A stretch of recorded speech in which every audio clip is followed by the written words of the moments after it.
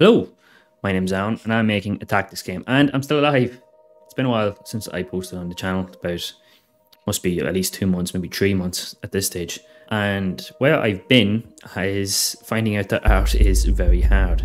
If you need a recap, last time I posted, I last devlog I posted on, I talked about I wanted to take a break from working on my asset pack, Tactics Toolkit, and I wanted to start doing like other game dev stuff that I've been putting off for a very long time, like art. I wanted to try and get a art style ready for my game. I'll figure out what kind of art style I wanted. So I jumped into it. By the way, if you're wondering why I'm sitting here and holding my mic like this, it's because I broke my mic arm one day. so this is what we're gonna have to deal with until I figure it out. But anyway, don't ignore it, don't worry about it. The game looks quite different than the last time you've seen it. This is it right now. It's kind of not good looking. But there's a lot of stuff going on here. Basically, multiple experiments and me trying to figure out what to do. So first up, let's talk about the map. I've decided I wanted a 3D map. I decided a while ago after playing uh, Triangle Strategy because I really loved the map design in that game. So I was like, let's try and see if I can figure that out. And the map you're seeing is actually generated using uh, an asset pack that I found. And asset pack is it's called Isometric Tiles Creator, which is super easy to use. And I'm using it combined with my asset pack, and it, it actually worked out really good. I just had to like write a new uh, map manager to generate my grid, and then everything else just kind of worked on top of that, which was like exactly as I planned the asset pack to walk, which was pretty good. And this asset pack has like a bunch of cool features. It has like props and has different biomes and it has roads. The tiles themselves though are still the ones that came with the asset pack. I haven't made my own yet, but I've done a little bit of research into that. Uh, after that, because then I started looking into stuff like shaders. I thought like if I have these kind of high quality uh, 3D tiles, and then maybe I could put like a toon shader or something on top of them, maybe it would look kind of like 2D art. Most of the time, it ended up just not working. I need to learn how shaders work, basically, which is a whole other thing that I'm going to jump into eventually, but not now because it just takes too long. And then after that, I jumped into character art because I wanted to get actual isometric characters, actual animations running around my maps and seeing what kind of that led into. And oh boy, is isometric art hard. trying to get characters working well is so difficult. I really, really, really struggled trying to get like character shapes and trying to learn how to draw isometric characters. I wanted characters with kind of like dynamic poses. So there's there's a whole bunch of stuff, and a lot of games use kind of these the same kind of sprite style where they're just kind of standing super still. They're standing super still, and you know they're, just very little animation in them in general.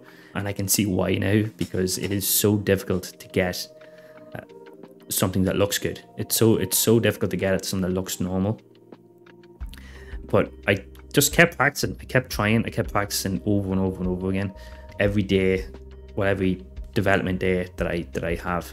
Uh, I was drawing little isometric characters. Sometimes they worked out nice, sometimes they looked fucking terrible.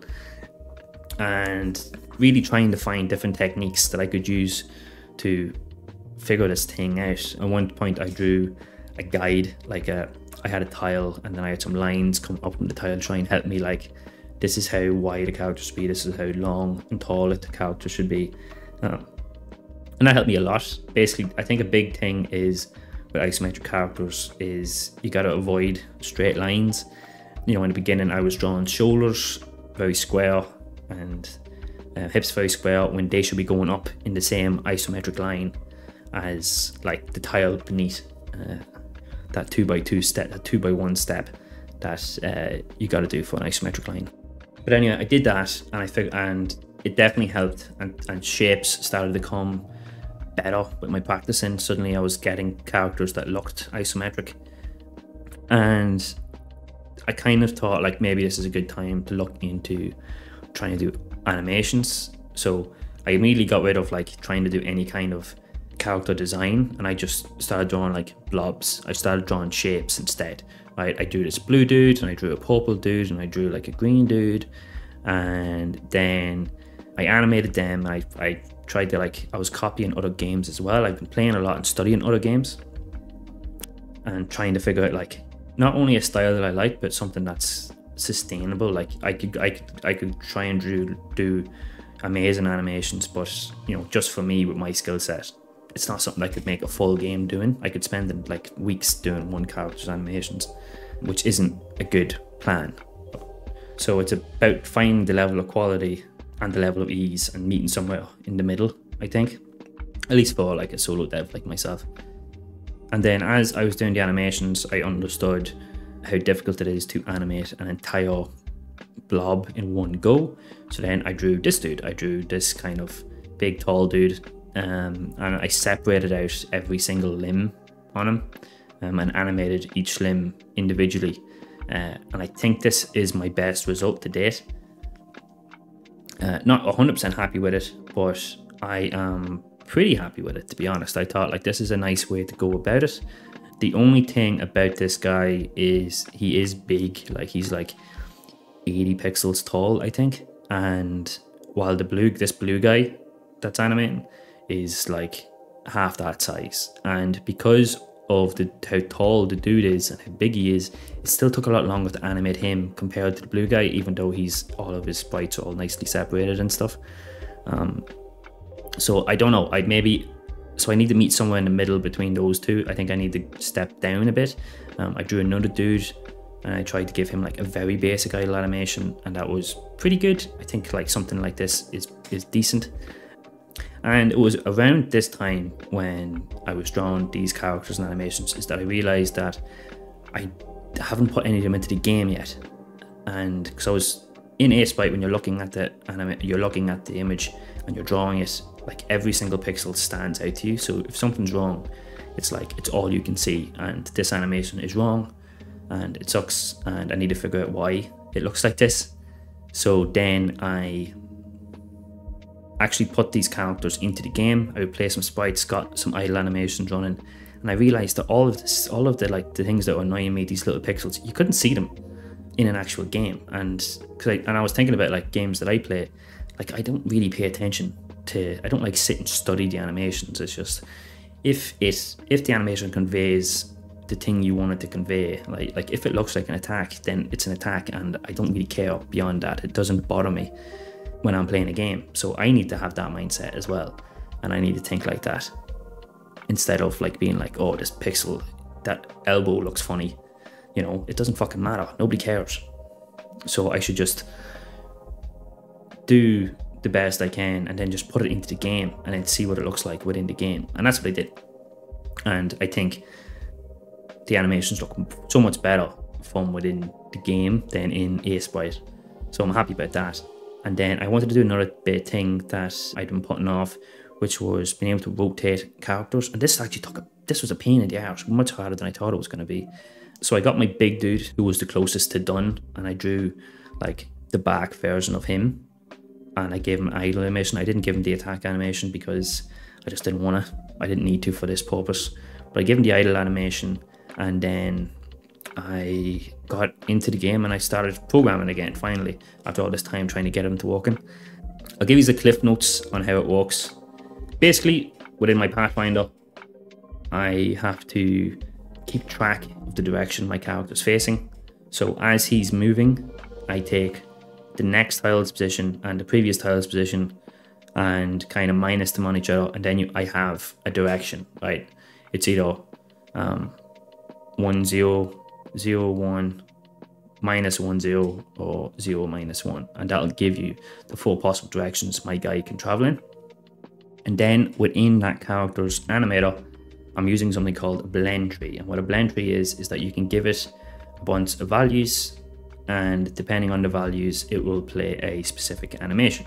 So based on the direction he's moving in, I can give my blend tree an X and Y direction, for example, uh, and based on the action Y, I can play a animation based on that, and that's what I did. So if it's one zero, you know he's facing away from me, so I'm playing his face away sprite. If it's minus one, zero, he's facing towards me. So I'm playing a sprite where he's facing towards me. And then instead of drawing four animations, I'm just mirroring them. But like again, it doesn't fucking matter. You just it just has to look like the way it's supposed to look. And I need to not get bogged down by the little details.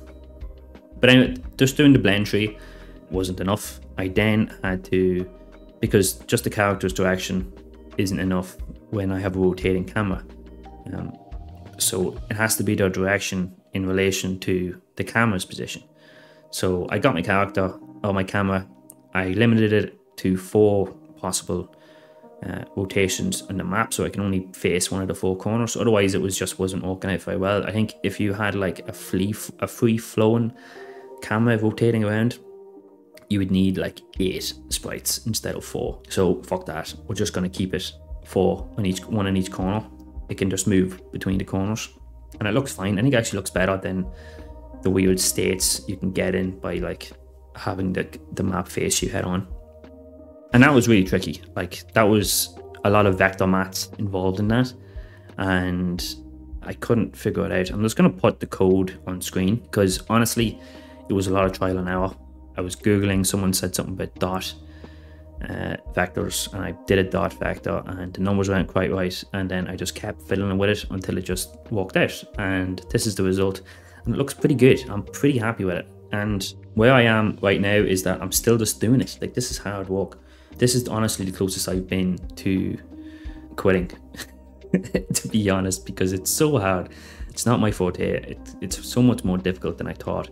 There's very little tutorials out there for um, character, isometric character art at least, right? Like I was Googling and you see like videos of people drawing it, but like actually stepping through and, and telling you how to do it, there isn't. And that's because you can't really teach it, can you? It's like with programming, you know what you want to know to do something, you know what it is you want to do, and then you find the solution and then you just implement the solution and it's done.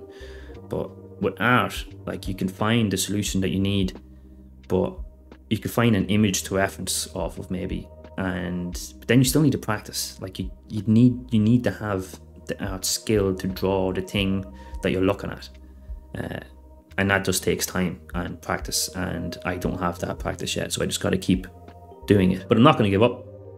I'm going to do it. And if I ever figure out how to draw like really nice isometric art, um, I'll be sure to do a tutorial on it to try and help other people do that as well. Uh, but I'm a long way from doing that just yet. Yeah.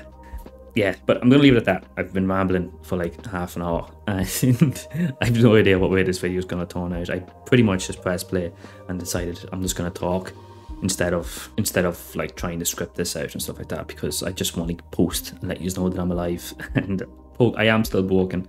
I like to always form my devlogs around having something to talk about, like having a specific thing. This is the thing I did, and this is how you do it. That way you learn something from the devlogs.